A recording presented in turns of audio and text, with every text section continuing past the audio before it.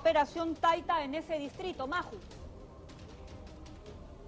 Buenos días, Mabel Pamela. Efectivamente, nos encontramos con el presidente Martín Vizcarra, que ha llegado hasta el complejo deportivo Andrés Avelino Cáceres en Villa María del Triunfo. Esta fue sede de los Juegos Panamericanos 2019 y él ha llegado hasta aquí para pues supervisar la mega operación Taita, operación territorial de ayuda para el tratamiento y aislamiento frente al COVID-19. Él se encuentra acompañado además del ministro del Interior, César Gentile, y la ministra de Salud, Pilar Macetti, además del jefe del Comando Conjunto de las Fuerzas Armadas, general César Astudillo. En estos momentos el presidente está recorriendo las eh, diferentes carpas que se han instalado para... Eh, el poder brindarle atención a la población el día de hoy y es que cuando acabe esta pequeña ceremonia se va a distribuir este personal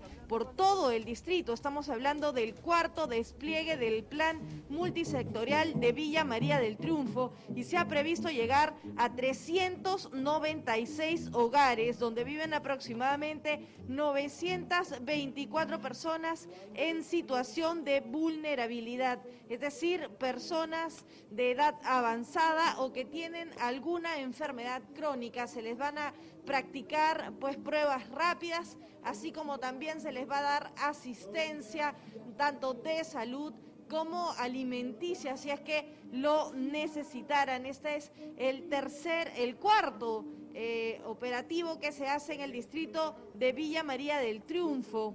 El primero se realizó el pasado 16 de junio y eh, se realizó pruebas rápidas a 369 personas, de las cuales 116, o sea, el 31% dio positivo. La segunda jornada fue el 14 de julio, en ella se tomaron 417 pruebas y 192 personas dieron positivos, o sea, 38%, 7 puntos más que en la primera ocasión.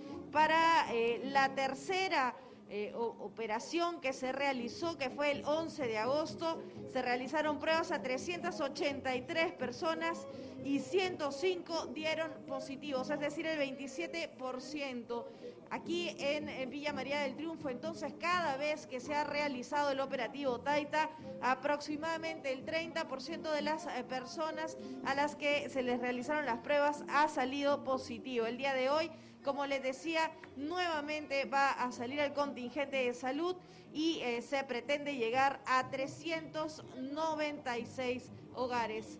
Ahí vemos como el presidente, como les decía, está paseando por los diferentes casetas, por estos toldos que se han instalado para mostrarle de qué manera es que se está llevando a cabo estas pruebas y de qué manera también es que se le está dando esta asistencia a la población de este distrito. Mabel, Pamela. Muchas gracias, Maju. Esta es una actividad que normalmente lo hacía eh, el ministro de Defensa, bueno, Walter Martos cuando era ministro de Defensa y lo hemos acompañado en varias oportunidades. Hoy lo hace el presidente de la República y aquí el mensaje no es difícil de leer, ¿no? El mensaje es yo sigo trabajando, ¿no? Yo sigo, la máquina se sigue moviendo en favor del ciudadano. Ese es el mensaje que el presidente quiere enviar a pesar de que hay toda una nube gris alrededor porque hay muchas preguntas respecto al caso Richard Cisneros sin contestar que el presidente no ha aclarado. Y probablemente, mira, la OMS dice que ya no hay codito, ¿ah? hay que llamar la atención al presidente que ya no se saluda con codito pero probablemente lo que lo haya animado a salir a la calle, a mezclarse con la gente, es la encuesta publicada esta mañana por el comercio y realizada por Ipsos. Así es. Hay una pregunta, hay dos preguntas que son relevantes. La primera es, ¿cree que Martín Vizcarra debe continuar como presidente de la República o debe ser vacado y reemplazado por el presidente del Congreso en la presidencia de la República. El 79% dice debe continuar como presidente, el 19% señala debe ser vacado y reemplazado, el 2% no está seguro. Vea usted, el 79% cree que Vizcarra debe continuar en el cargo. Entonces, eh, a ver, ya sabemos que en el Congreso de la República ya este proceso se ha caído y no reúnen los suficientes votos para vacar al presidente. Pero vean ustedes, el 41% de los encuestados piensa que la conducta que registran los audios que involucran, involucran al presidente es incorrecta, pero no grave.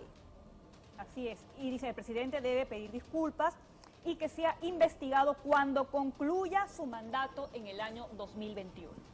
La otra cara de la moneda es el presidente del Congreso de la República, el señor eh, Manuel Merino. 72% es la desaprobación del presidente del Congreso de la República. 21 puntos más que en agosto. Ha subido su desaprobación. Hay gente que no está de acuerdo con su actuar y esto es clarísimo, ¿ah? que, que haya aumentado la desaprobación en 21 puntos es bastante loco. Bueno, entonces ya se explica, eh, como lo señalabas tú, Mabel, ¿no? Por qué el presidente se anima a encabezar una actividad que normalmente solamente es encabezada por los ministros, ¿no? Aunque ahí está también el ministro de Defensa y la ministra de, de la Salud, ¿no? Pero el presidente, pues, dando esa imagen de que aquí no pasó nada, nosotros continuamos trabajando. Y con el respaldo del pueblo. Sí, está bien que continúe trabajando, los ciudadanos finalmente reclaman eso, ¿no? Que se continúe eh, con, eh, en la lucha contra la COVID-19.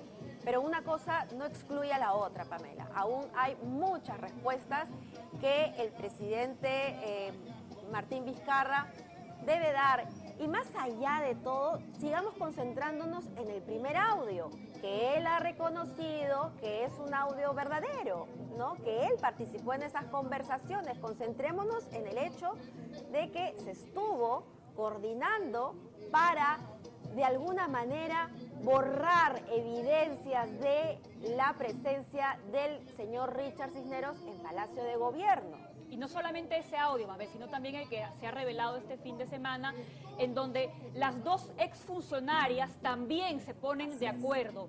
Una de ellas, Miriam... Eh, eh, Miriam Morales. Miriam Morales, que ya había pasado por el interrogatorio del Ministerio Público, que le dice a Karen Roca qué es lo que ella tendría que responder, ¿no? Para que finalmente las versiones concuerden y así librar al presidente de la República de cualquier vínculo, de cualquier trato que haya podido tener con el señor Richard Cisneros. Finalmente, ¿quién ordenó que a este señor Cisneros se le contrate, ¿no? En el Ministerio de Cultura en diferentes ocasiones por un monto de 155.400 soles.